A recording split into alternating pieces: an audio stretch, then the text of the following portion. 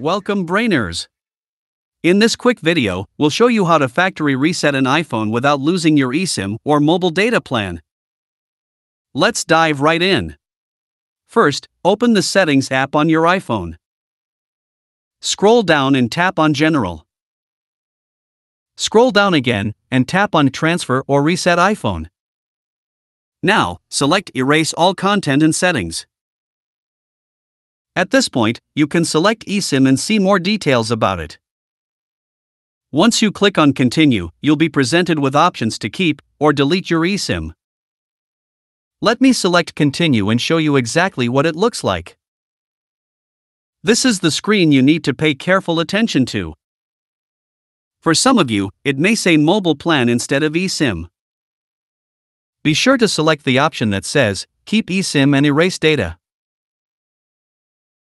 If prompted, enter your iPhone's passcode. If you have Find My iPhone feature enabled, you'll also need to enter your Apple ID password as well.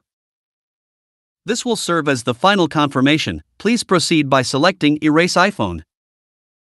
After completing these steps, your iPhone will initiate the factory reset process, post which you should get the new device setup screen.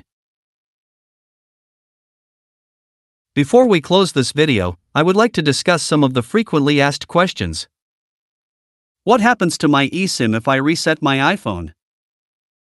When resetting, you'll be prompted to keep or delete your eSIM, so please choose carefully based on your preference. How can I retrieve my eSIM after factory resetting my iPhone?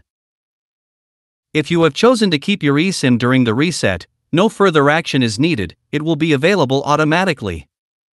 On the other hand, if you by mistake chose to delete the eSIM during the reset process, please contact your carrier's customer support for assistance. They will either send a QR code via email or provide instructions on how to set up your eSIM. Will resetting network settings remove my eSIM? No, resetting network or any other settings will not remove your eSIM. If you found this video helpful, don't forget to give it a thumbs up and subscribe to our channel for more tech videos. Thanks for watching.